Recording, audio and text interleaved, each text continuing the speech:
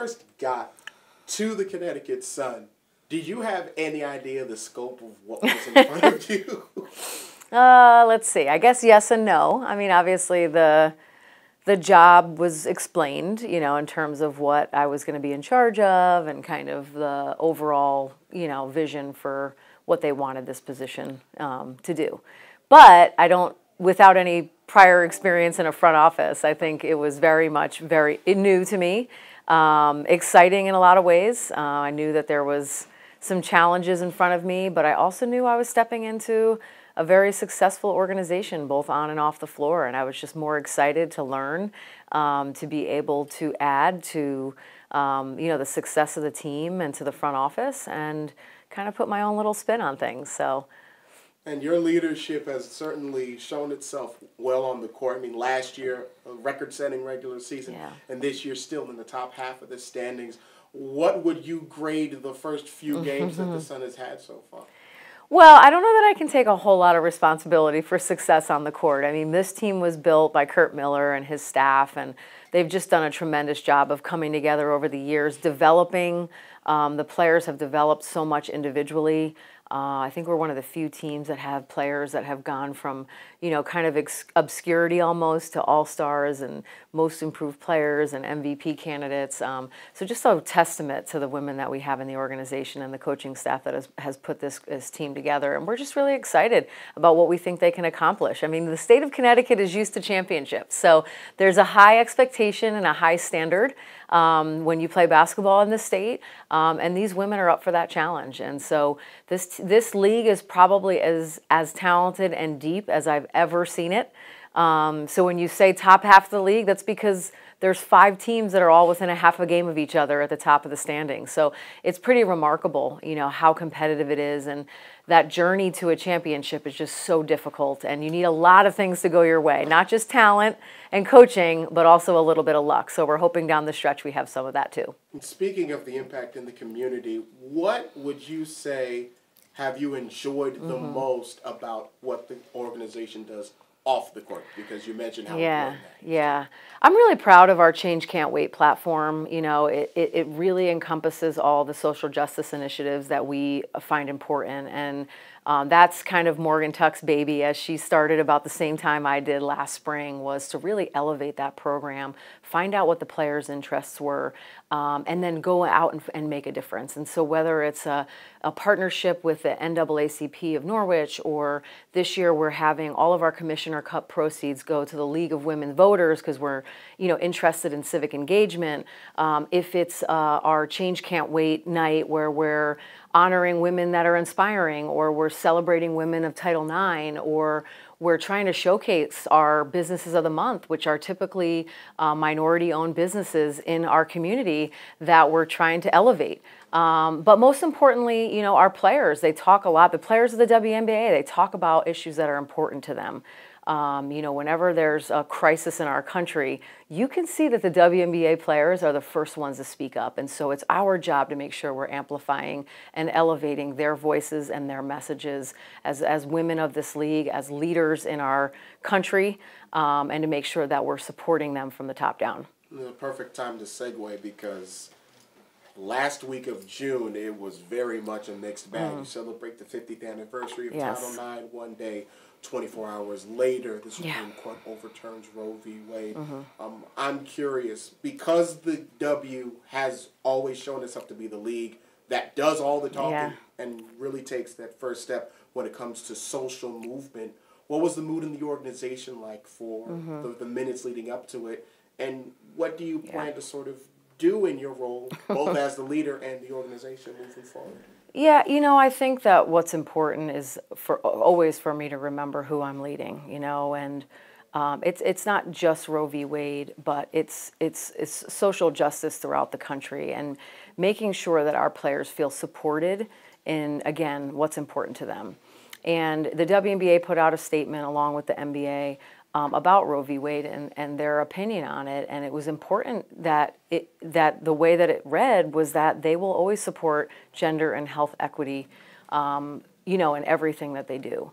Um, that they will always support freedom of speech and freedom of decision, and that's what our women are about. Is they they don't want to push their opinions on other people. They want to emphasize that they have the freedom to make their own decisions about what happens with their bodies, make their own decisions about their futures. Um, and the WNBA, from the leadership position, has always supported um, the reproductive health and options for our players. They have supported the freedom of speech for our players. They have supported the freedom to protest, peacefully protest that our players have done. And we're one of the only leagues that continue to peacefully protest at times the national anthem um, because we want our fans to know that, yeah, we want you to support us as basketball players, but we're also people. And my team is made up of 11 black women and they want our fans to know that sometimes they don't feel like they get treated in this country the same way as white people do. And so when they protest the flag, or actually just the anthem, or they protest against Roe v. Wade, um, or they protest against racial injustices in our country, um, it, it's their message to say, hey, you know, we're more than just basketball players. We're women, we're mothers, we're sisters, we're brothers, um, we're daughters, um, and they're role models. And they want to st- they want to be the courage and be the voice for so many voiceless people in the United States. And I, I couldn't be more proud to be part of a league where I get to be a leader of women like that. Switching gears just slightly, going from the pros a little bit to college, yeah. especially since celebrating the 50th anniversary of Title IX. You have seen it firsthand as a coach, mm-hmm. as a player. I'm curious, when you started to play the game of basketball, how did you see opportunities unfold for you? Yeah, yeah. Um, you know, it's funny. I, I, when I started working at the University of Hartford, I was hired by Pat Meiser, and one of the things that I knew, the first thing I knew about her was that she gave out the first women's basketball scholarship at Penn State back in 1974, which is when I was born. and so I think about Pat giving me this opportunity, right, to be a 25 year old first time head coach of women at the University of Hartford. Um, and I think about how many people, not women, not only did they not have the chance to be a coach, but they didn't even have a chance to go to college to play basketball, uh, and let alone play basketball for free on a scholarship.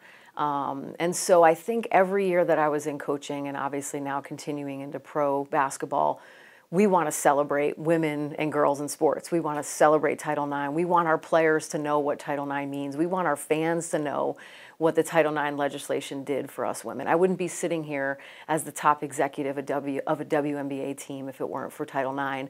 And I always want my players, I want my own kids, but I want people to know that there's so many women that paved the way for me to be sitting here.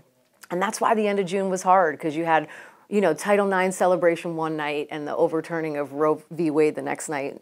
You, you're celebrating all of these freedoms and all of these opportunities given to women, and then in the next breath, you feel like you're getting that taken away. And I think that's why these women are so important, is because um, they're going to continue to fight for their freedom. Um, they're going to continue to fight for the opportunity, not just for girls to play basketball or girls to be presidents of WNBA teams or be broadcasters for ESPN, um, but for women and girls in general to have the freedom to make their own choices in the future. And that's what the WNBA is all about. And that's why I'm proud to be the president of the Connecticut Sun. As you look toward the future, not just off the court, but we'll go back on the court mm-hmm. for a second. Yeah what are some things that you hope to see, yeah. not just from your team, but so, sometimes your fans as well? Yeah, you know, I, I've been so excited about the crowds that we've been getting um, in the last couple games. I think summer has started and school is out and people are looking for fun things to do. And coming to a Connecticut Sun game at the Mohegan Sun Arena is a fun thing to do. And um, you get to see the best in the world at this sport.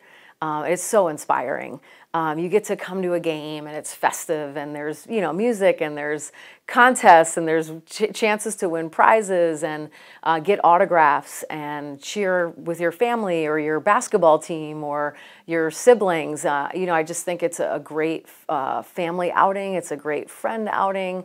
Um, and then you look at what we produce on the floor, and we don't win every game. I mean, sometimes in the years past, it feels like we do because we won so many games at home. Um, but our women always are in there. They're always competing. They're always fighting. They're playing the game the right way. Um, they play for each other. They make extra passes. They celebrate the successes, and they're showing you know young girls and boys out there what it means to play selfless basketball. And I think that's why women's basketball is so special, is because it can be played in a way that it was invented to be played. Um, and so you get to come to a great atmosphere. You get to enjoy an afternoon or an evening, um, but most importantly, you get to see great basketball. And speaking of that great basketball, obviously you brought back the lion's share of last year's yeah. team that had that record-setting regular season. Mm-hmm. Coming back as Courtney Williams, mm-hmm. it seems mm-hmm. like the big family reunion. Yeah. What is it about this year's team yeah. that makes it so special and even different yeah. from last year? Well, you know, Courtney Williams just adds an element that is so fun. You know, she is a fan favorite. These fans love her because she's engaging, because she plays the game with joy. And I think last year we won so many games that there by the end there was a lot of tension and pressure building up, and it maybe didn't always look like we were playing the game with joy. Um, and Courtney reminds I reminds all of us what this game is about. And so we've had our our stretch of of bad luck. You know, we had Jasmine Thomas go out early this season with an injury. We had Alyssa Thomas go out last season with an injury, and this team is is I think the definition of resiliency they just find a way. Um, and so they bring a lot of joy to my life, to our fans' life. And, you know, I think that it's, you know, every game is a battle. Um, the strength of the WNBA is on full display. The depth of this league and the depth of the rosters is on full display this year. And it is going to be quite a journey to get to that WNBA championship for any of us. Um, so to be able to come out and see a battle every night and see competitiveness every night and see that joy every night from our team playing for each other. I, it's, it's definitely something you don't want to miss. To close our time, for those who have never been to a okay. Connecticut Sun game, for those who have seen or not really had the whole experience, yeah. what's your manifesto to them? Why should they make sure they have every yeah. game here at Mohegan Sun circled on the schedule? I will say if you've never watched a WNBA game in person, you are missing out the athleticism, the power, the physicalness of the WNBA game compared to college is completely different. And you will be in awe of these women and what they're capable of doing physically. Um, the environment is tremendous. Is that gonna is that gonna matter? no, sorry. Very good. No, okay. Don't worry about it. Let me yep. just kind of pick up where I left off there. The physicalness. Hmm. Oh, you're yeah. talking about the physical yeah. difference okay. between the yeah. two. Yep. Oh. All right, here we go. Perfect Um, yeah. Um, so, you know, in addition to that, um, you'll see great coaching. You're going to see a great fan, fan atmosphere. Um, there's a lot more festiveness in a professional basketball game with music playing and contests being had all the time. Uh, and then it's a great setting. You know, I think people don't realize how much there is to do here at the Mohegan Sun. And so our arena being easy to get to, free parking, tons of places to eat, and then you get to go watch a special group of women against another special group of women play basketball. You definitely don't want to miss that. I mean, we've got some tremendous games coming up against the best teams in the league in Vegas and Chicago. We've got Sue Bird's last game probably ever in the state of Connecticut. We've got Diana Taurasi coming back. We've got Sylvia Fowles who's retiring after this year. It's the last time that people will get a chance to see her play.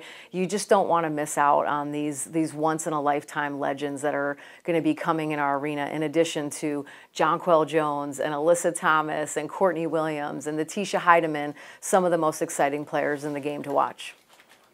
And you'll have a chance, at least the fans will have a chance to see them next week. Three of them mm-hmm. on their way to Chicago as yes. All Stars. Um, early pick Jonquel Jones All Star game. I think so. You know, I, I would like to say she was pretty close last year. I think Arike, Arike edged her out for the all Star Game MVP. So I don't think it's an early pick. I think it's a good pick for, for Jonquel Jones to be winning this year's uh, All Star Game MVP.